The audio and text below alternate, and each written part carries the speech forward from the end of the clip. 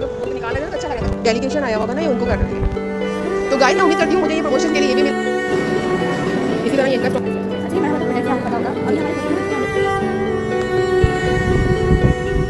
ये गाड़ी अच्छा ये जो सारे ये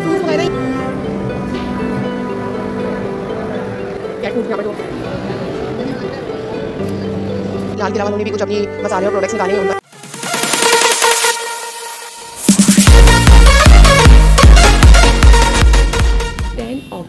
2023 थर्सडे आज पता चला कि एक्सपो में तीन दिन की एग्जीबिशन लगी हुई है तो मैं आपके लिए ब्लॉगिंग करने आई।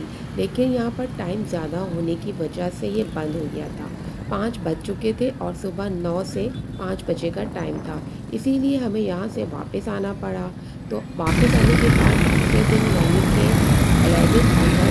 फ्राइडे के दिन मैं दोबारा आप लोगों के लिए ब्लॉगिंग करने गई। आप देख सकते हैं कितना रश है। ऊपर गुलशन पार्क का पुल था। उसकी बजाय हमने नीचे से कट लगाया ताकि थोड़ा सा रास्ता कम हो जाए और नीचे से निकल जाए। वरना ऊपर इतना ट्रैफ़िक था कि हम उसी में फंसे रहते। फिर हम गुलशन के ब्रिज को छोड़ के नीचे से निकले। और यहाँ आप देख सकते होंगे कितना रश है। मॉर्निंग के दस बज रहे हैं। लेकिन मुझे आप लोगों के लिए रात भी शूट करना था और आपको एक्सपो सेंटर दिखाना था। इसलिए सारे रश को चीरते हुए मैं यहाँ पहुँच ही गई। अब हम अंदर आ गए। मैं आपको अंदर का व्यू दिखाती हूँ। एक्सपो सेंटर के ये गेट्स हैं दो और यहाँ पर बहुत बड़े बड़े हॉल्स भी हैं। बाहर पार्किंग एरिया भी है और बहुत लंबे मतलब कि बहुत बड़ी जगह पे ये बना हुआ। I think twenty two thousand total area होगा इसका। यानी कि बाहर की साइड्स और अंदर के हॉल्स तो बने हुए हैं, वो अलग हैं। ये सारी जगहों पे हमेशा ही एग्ज़िबिशन लगती है मुख्तलिफ़ कल्चर आर्ट को प्रमोट करने के लिए। तो मैं आपको यहाँ पर दिखाती हूँ। आप चलिए मेरे साथ पूरा एक्सपो सेंटर और यहाँ पे लगने वाली फ़ूड स्टॉल्स भी दिखाती हूँ। जिस तरह से आप देख रहे हैं, यहाँ पर लोगों का आना शुरू हो चुका है। ये हमारे एग्रीकल्चर को सपोर्ट करने के लिए भी लगी है। वालेकुम गाइस मैं एच के ब्लॉग से आपको वेलकम करती हूँ। आज हम आए हुए एक्सपो सेंटर यहाँ पर फ़ूड की बहुत अच्छी एग्जीबिशन और स्टॉल्स लगे हुए तो चले, मैं आप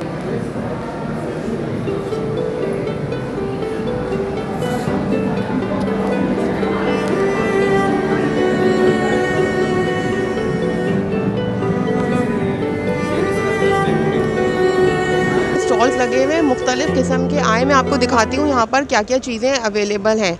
ये बहुत अच्छा इनका लगा हुआ है स्टॉल और यहाँ पर अ, आगे चलते हैं आगे भी देखते हैं कौन कौन सी चीज़ें हैं। ये बहुत अच्छा सा ये बना हुआ है व्यू आप देखिए कितना प्यारा। ये बिस्किट्स के हैं ये प्रमोट करने के लिए लगते हैं इनके यहाँ पर नंबर्स भी होते हैं इंक्वायरी भी होती है। और ये आगे चलते जाएँगे और हम चीज़ें देखते जाएँगे कौन कौन सी लगी हुई हैं। यहाँ पर डिस्काउंट्स भी चल रहे हैं। और यहाँ पर हिलाल वालों का स्टॉल लगा हुआ है देखिए तो ऐसे ही हम आगे जाएँगे, यहाँ पर बिस्किट्स के हैं। ये देख सकते हैं आप। इनकी भी बहुत अच्छी चीज़ें होती हैं सारी। और आगे भी सारे स्टॉल में ये कैंडी लैंड वालों का है। यहाँ पर ये स्नैक्स वालों का स्टॉल है। और आगे भी है। ये आप देख सकते हैं यहाँ पर। लाल किला वालों ने भी कुछ अपनी मसाले और प्रोडक्ट्स निकाले हैं, उनका स्टॉल है। उसके, कोई इनके पास समोसे भी हैं, ये डॉन ब्रेड वालों का स्टॉल लगा हुआ है।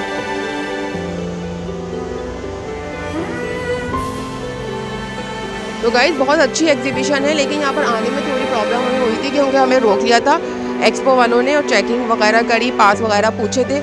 अब चलते देखते हैं कि यहाँ पर सेल भी हो रहा है या नहीं। काफ़ी तो मुझे नज़र आ रहे हैं, यहाँ पर ब्लॉगर्स भी बनाने के लिए आए हुए हैं। और ये देखिए शंगरीला जो कि हम लोग बहुत यूज़ करते हैं ना घरों में, ये उसका स्टॉल लगा हुआ है और इनकी प्रोडक्ट्स हैं सारी।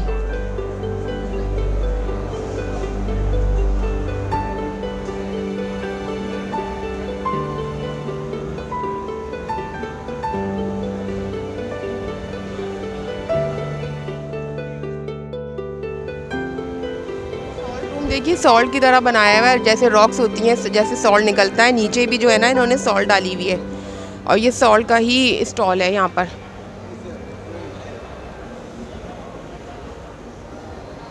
यहाँ पर ये हॉल वन है और हम यहाँ पर आए थे। Hall three four five six है और सामने आप देख सकते होंगे यहाँ से कितना अच्छा व्यू नज़र आ रहा है। अच्छा यहाँ पर दो या तीन हॉल ही ओपन किए हुए थे। जब बहुत बड़ी एग्जीबिशन लगती है तो ज़्यादा हॉल खोले जाते हैं। मेरे ख्याल से यहाँ पर छः सात हॉल हैं और हम यहाँ पर आ गए। यहाँ पर भी इसी तरह का स्टॉल्स हैं और प्रमोशन के लिए चीज़ें लगी हुई हैं। लेकिन यहाँ पर सेल नहीं हो रही है। सेल जो है वो कल लास्ट डे है। शायद वहाँ उस दिन मैंने पूछा था तो लास्ट डे कल है तो कल सेल होगी। पर सनपास देखिए। प्रोडक्ट का भी लगा हुआ था। उन्होंने मुझे गिफ्ट हैम्पर दिया जिसमें बहुत अच्छी की और तीन मसालों के डब्बे थे। और ये भी यूज़ करने चाहिए। ये मुग़ल वाले जो राइस होते हैं उनका स्टॉल है।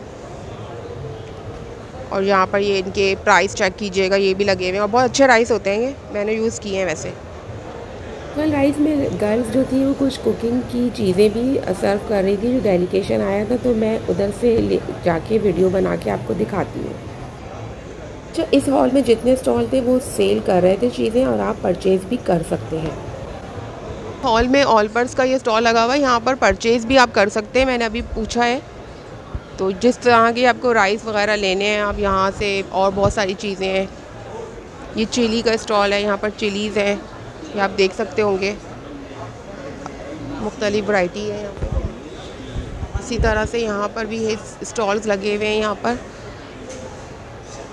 ये देखिए, ये राइस के हैं। हर तरह की क्वालिटी के राइस और उनके प्राइस लिखे हुए हैं यहाँ पे।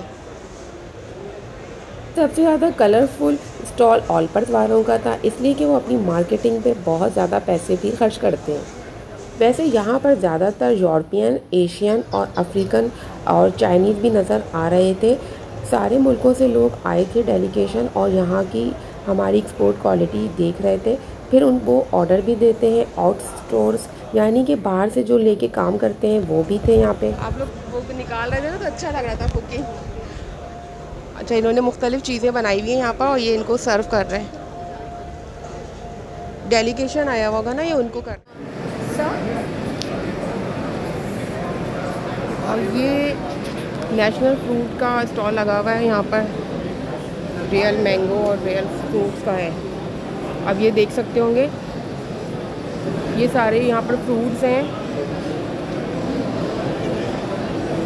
इसी तरह यहाँ पर भी है।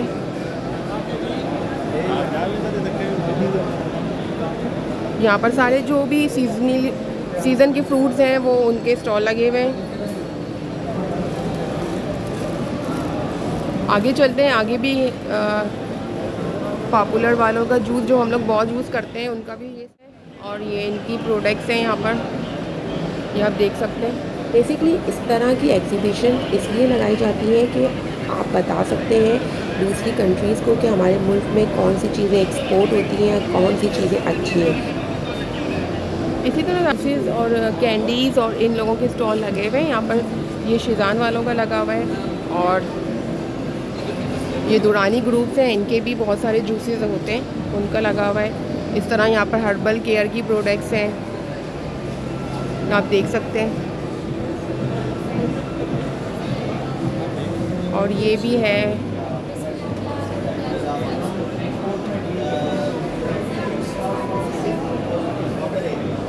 मुझे ये वाला प्रोडक्ट्स का जो स्टॉल है, बहुत अच्छा लग रहा है, इनकी प्रोडक्ट्स भी। ये मरहबा ड्रिंक्स वाले हैं जो उनका स्टॉल है। और ये देखिए। मरहबा का प्रोडक्ट्स है आपको पता होगा। अभी हमारे फोर्टी कंट्रीज़ के अंदर एक्सपोर्ट हो रहे हैं।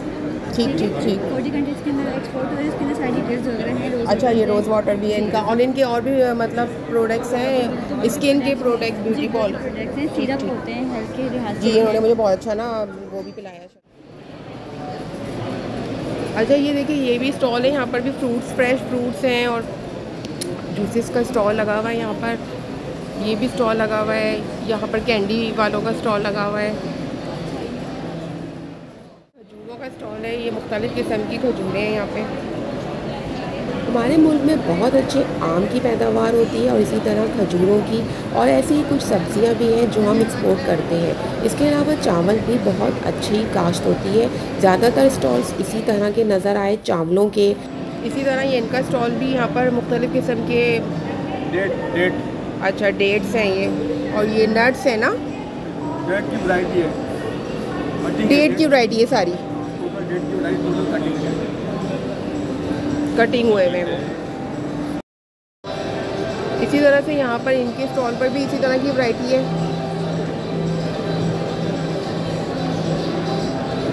बाकी आगे भी फ्रूट्स हैं हम आपको दिखाती हूँ, यहाँ पर फ्रूट्स का स्टॉल है।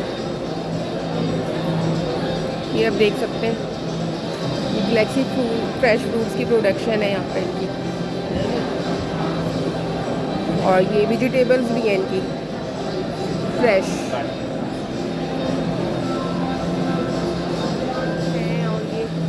गार्लिक फ्राइज अच्छा ये ये जो है ना किसान लोग जो फ़सलों के लिए ये उनका है वो यहाँ से दवाइयाँ भी ले सकते हैं परचेज़ कर सकते हैं। ये उनका स्टॉल लगा हुआ है। यहाँ पर कुछ आउटसोर्सेज यानी कि बाहर से लेते हैं और फिर अपनी प्रोडक्शन बना के हैं और सेल आगे करते हैं। एक्सक्यूज़ में यहाँ पर सेल भी हो रहा है मतलब परचेज़ कर सकते हैं? नहीं। अच्छा ये प्रमोशन के लिए है ओनली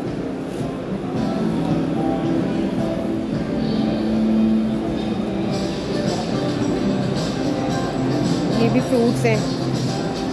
अच्छा ये एक्सपोर्टर है अच्छा ये एक्सपोर्ट करते हैं।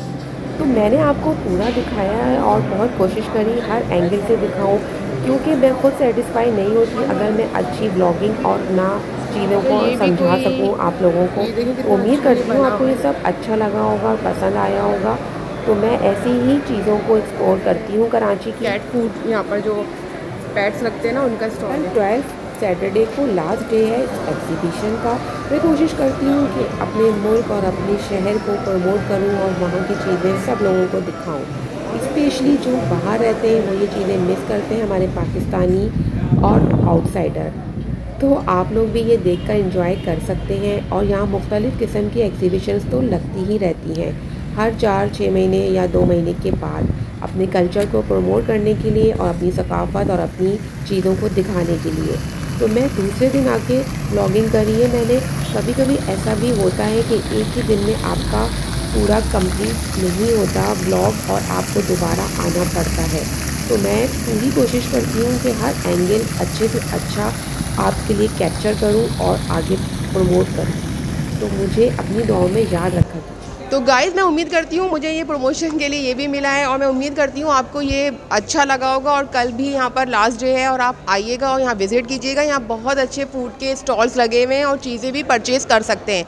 तो मुझे दीजिए इजाज़त आप अगले ब्लॉग में मिलूँगी। अल्लाह हाफिज़।